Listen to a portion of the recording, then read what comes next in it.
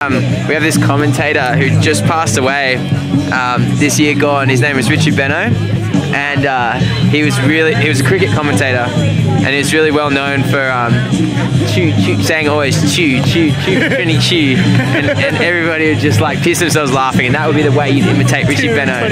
Chew chew for trini chew, so chew chew chew is on course here. Yes, guys.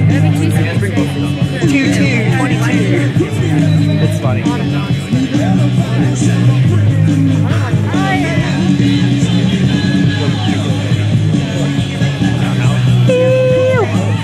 Kelly on the bottom. Let's give Kenzie Radway a big hand. The Rad Star.